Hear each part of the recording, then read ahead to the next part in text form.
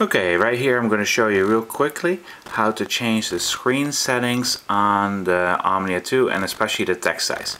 Real easy, you click on start on the top, and settings on the bottom, then you have your display settings, you have your text size, and right here as you can see I have a slider where I can just adjust this.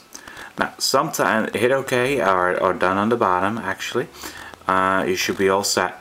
Uh, sometimes the settings are not on so if you go to general settings and you go all the way to the touch Samsung TouchWiz you can turn that one off. Hit done.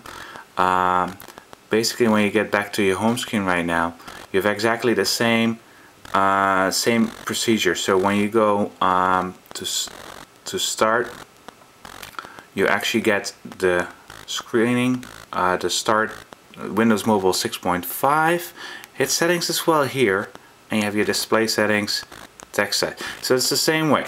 If you want to go the original way uh, to that the the the Windows 6.5 is kind of locked down in this system but if you install SPB Mobile Shell 3.5 as you see I have here I can go to launcher I can go to settings I go to system you go all the way down to the screen yeah maybe that went quick align screen but you have clear text size and you have text size itself. And again here you have your slider. So these are the three different ways to change your text size on your screen on the Samsung Omnia 2 I hope this works for you